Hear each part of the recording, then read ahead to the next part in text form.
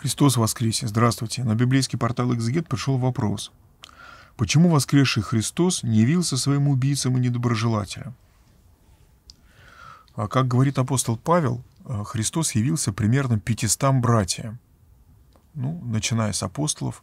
Конечно, он явился своей, э, своей пречистой матери, хотя это не описано нигде. А, но мы со всей церковью это исповедуем. А недоброжелателем он не явился, потому что Христос вообще никому не навязывается. Господь оставляет свободную волю человеку. Хочешь — веруй, не хочешь — не веруй. Ты свободен. Богу нужно твое любящее сердце. Как э, Господь говорит, «Се стою у двери сердца и стучу, не отворит ли мне кто?»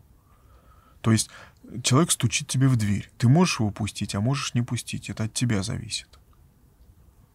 И э, человек, который э, стремится ко Христу, он, конечно, его пустит.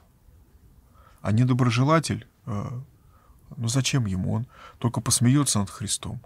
Поэтому, э, когда мы встречаем э, недоброжелателей, людей, э, ненавидящих Христа, враждующих против Него, мы должны вспоминать слова Господа Иисуса, не мечите бисер перед свиньями. Не, бросайте, не бросайте святыни псам чтобы они не попрали и вас вместе с ней.